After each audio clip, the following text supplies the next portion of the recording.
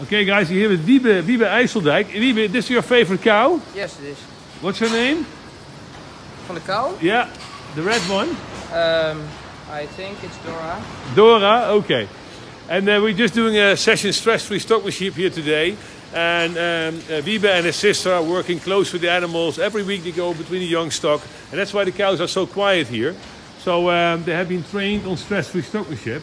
And the good news today is that we're going to make a little video, a little photo session here for the new book, Stress-Free Stockmanship. So uh, we're going to make some shots between the cows.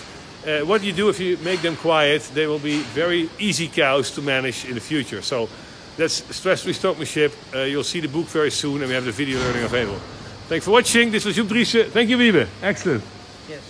Wiebe, young farmer, doing a great job with his cows. Excellent.